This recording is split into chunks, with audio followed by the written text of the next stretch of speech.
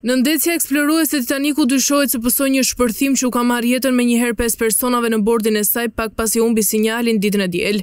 Deklarata u bë nga admirali i rojës bregdetare të SHBA-së, John Mauger, Pas gjetjes së mbetjeve në oqean, pranë Titanikut, pas ditësh kërkimesh të dëshpëruara një robot i drejtuar nga distanca gjeti konin e bishtit të Titanit rreth një mijë e gjashtëqind metra larg harkut të anijes së mbytur. Autoritetet amerikane besojnë se shpërthimi ka ndodhur rreth një orë e tridhjetë minuta pas nisjes së misionit të zhytjes dhe shkak mund të ketë qenë një pjesë e dobët e sipërfaqes izoluese të nëndetëses, që nuk i ka rezistuar presionit të lartë të ujit. Ekipet e shpëtimit nuk kanë më shpresë për gjetjen e gjallë të pesë personave në bord, por kërkimet vijojnë për të rikuperuar trupat e tyre. Në bordin e nëndezes ndodheshin, Hashim Harding, Shahzada Dawn dhe djali i tij Sulejman Daud, Paul Henry dhe CEO i nëndezes Tokon Rashit, të cilët humbën jetën. Në një intervistë për Deutsche Welle-n, Konrad Klewing, ekspert për çështjet e Ballkanit, shpjegon se përse është shqetësuese situata aktuale në kufirin Kosovë-Serbi, dhe çfarë mund të bëhet për shtensionimin e saj. Sipas tij, Vuçiç tani po e ripërdor Kosovën për të zbutur ose për të anashkaluar protestat e brendshme kundër tij. Clewing u shpreh se Perëndimi duhet të dërgojë sinjale të qarta politike në rajon. Ndryshe nga sa thonë amerikanët javët e fundit, Kosova nuk duhet të dobësohet në perspektivën e saj euroatlantike, por të forcohet. I pyetur për deklaratën e Sekretarit të Përgjithshëm të NATO-s Jens Stoltenberg, i cili tha në fillim të javës se aleanca mund të ndërmarrë hapa të tjerë nëse është e nevojshme dhe se si ai e sheh rrezikun e krijimit të një republike të KFOR-it, term ky i përdorur nga kryeministri shqiptar Edi Rama, Konrad Clewing tha se kjo është një përzgjedhje fjalësh që vjen nga imagjinata e fryrë e Ramës. Në lidhje me presionin që Shtetet e Bashkuara dhe Bashkimi Evropian po i bëjnë Kosovës, eksperti për çështjet e Ballkanit shpjegoi se kjo është pjesë e traditës diplomatike mes fuqive të mëdha dhe shteteve më të vogla dhe ka logjikën dhe peshën e vet. Sipas Konrad Clewing, për shtensionimin e situatës në veri të Kosovës, Perëndimi duhet të dërgojë sinjale të qarta politike në rajon. Ndryshe nga sa thonë amerikanët javët e fundit, Kosova nuk duhet të dobësohet në perspektivën e saj euroatlantike, por të forcohet. Përveç Serbisë, nuk ka dyshim se edhe Kosova duhet të tregohet më pragmatike, sidomos duke prezantuar një koncept realist për Asociacionin e Komunave me shumicë serbe.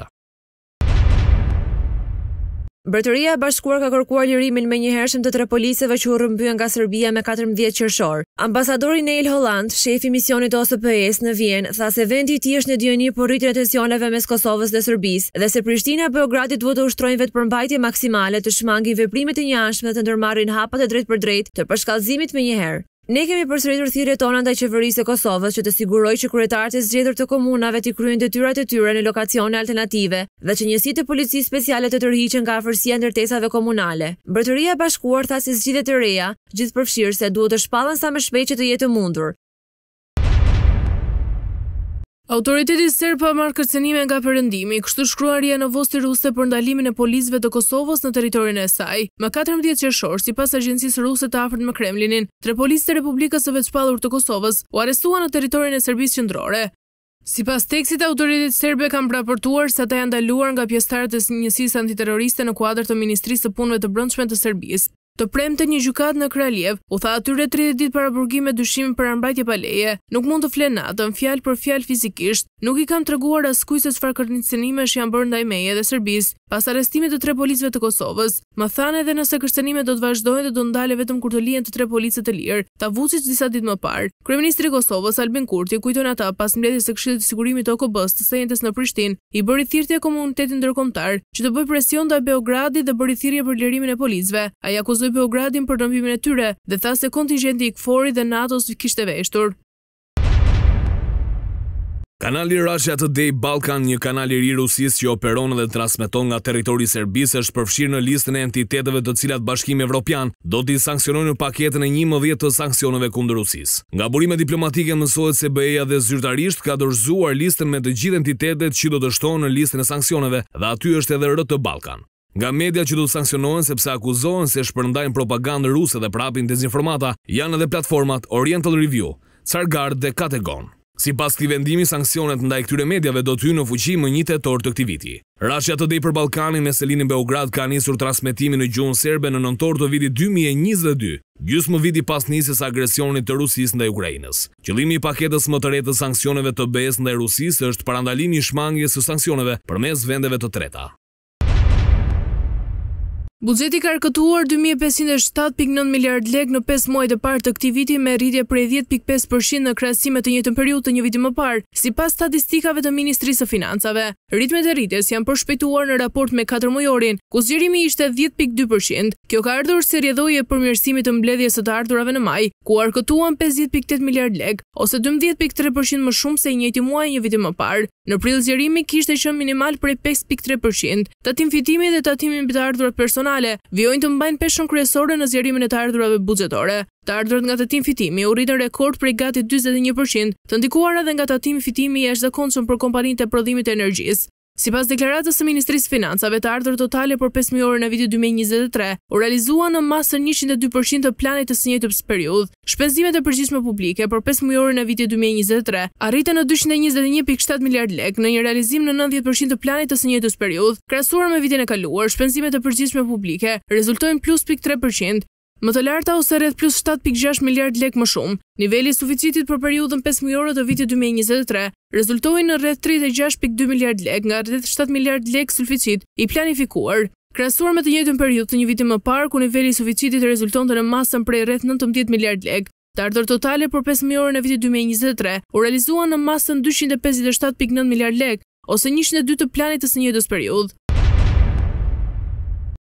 Hulumtuesja amerikane Ivana Stradner ka thënë se presidenti i Serbisë Aleksandër Vuçiç do të humbasë shpejt mbështetjen perëndimore dhe fuqia e tij do fillojë të bjerë. Ajo është shprehur e shqetësuar me gjendjen e lirisë së shprehjes në Beograd dhe e ka krahasuar atë me situatën në Bjellorusi. Çdo ditë njerëzit raportojnë se thirren në rajonet e policisë për postimet e tyre në mediat sociale, ka theksuar Stradner duke shtuar, nuk pritet tjetër nga një politikan si Vuçiç, i cili ka patur për mentor Sllobodan Millosheviçin. Shënojini fjalët e mia, Vuçiç përfundimisht do të humbasë mbështetjen perëndimore dhe fuqia e tij do të fillojë të bjerë. Atëherë ai do të tregojë personalitetin e vet të pamëshirshëm. Stradner theksoi se Vuçiç është person jashtëzakonisht i prirur nga egoja, si dhe i mllefosur, i cili vuan nga kompleksi i epërsisë, sepse pa një pushtet absolut ai nuk është asgjë, ka shkruar.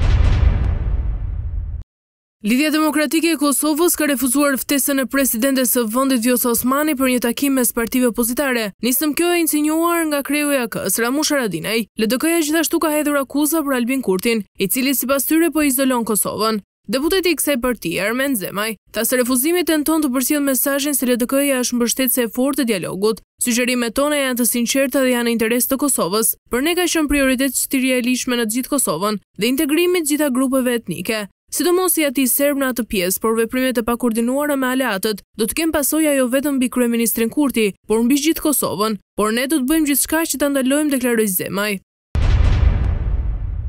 Kryeministri Edi Rama ka reaguar pas deklaratës së Josep Borrell në përfundim të takimeve që pati ndaras me Albin Kurtin dhe Aleksandër Vuçiç. Në një postim të bërë në Twitter, Rama shkruan se pa u liruar tre policët e Kosovës që po mbahen të arrestuar në Serbi, nuk do të ketë asnjë përparim të vërtetë. Sapo ata të kthehen në shtëpi nevojitet një veprim i fortë i Francës dhe Gjermanisë për të ndaluar këtë spirale absurditeti, ka shkruar Rama. Për katër orë rresht në Bruksel përfaqësuesi i lartë i BE-së Josep Borrell dhe i dërguari evropian për dialogun mes Kosovës dhe Serbisë Miroslav Lajçak kanë zhvilluar një seri takimesh për menaxhimin e krizave, fillimisht me kryeministrin e Kosovës Albin Kurtin dhe më vonë me presidentin e Serbisë Aleksandër Vuçiç.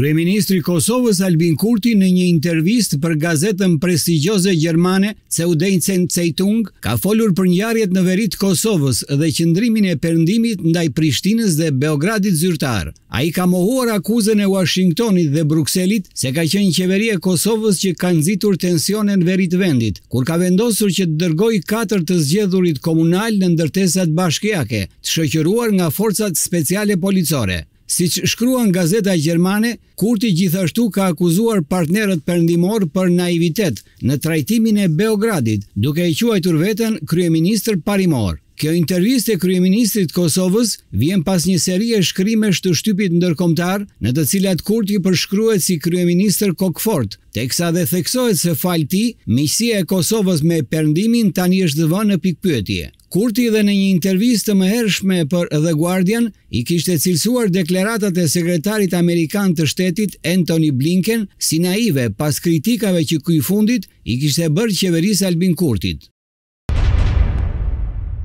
Kryetari i Lidhjes Demokratike të Kosovës, Lumir Abdixhiku, i është përgjigjur negativisht ftesës së presidentes së Kosovës Vjosa Osmani për të zhvilluar një takim pasi një gjë e tillë e kishte kërkuar dhe kreu i AAK-së Ramush Haradinaj. Abdixhiku ka thënë se LDK-ja ka përcjellë me shqetësim zhvillimet politike në vend dhe specifikisht atë që e ka quajtur qasje të papërgjegjshme të kryeministrit Albin Kurti Në raport me SHBA-në, BE-në dhe NATO-n, në letrën që kreu i LDK-së i ka kthyer presidentes, thuhet se qasja konfliktuale e Albin Kurtit dhe veprimet e pakoordinuara kanë rrezikuar sovranitetin e Kosovës dhe LDK-ja s'mund të pranojë dhe as të tolerojë një përplasje të Kosovës me aleatët. Abdixhiku ka thënë se LDK-ja kërkon dhe pret pozicionim të qartë dhe kritik nga ana e presidentes Vjosa Osmani përkundër qëndrimeve të Albin Kurtit, dhe thotë se në këtë mes qëndrimi i saj është jetik, por që ka munguar prej kohësh. Bëhet e ditur se ftesën e ka refuzuar dhe kreu i PDK-së, Memli Krasniqi, i cili ka deklaruar se arsyeja është se presidentja ka qëndruar e heshtur dhe ka neglizhuar obligimin e saj kushtetues për të garantuar unitetin qytetar pas ngjarjeve të fundit në veri dhe marrëdhënieve me partnerët.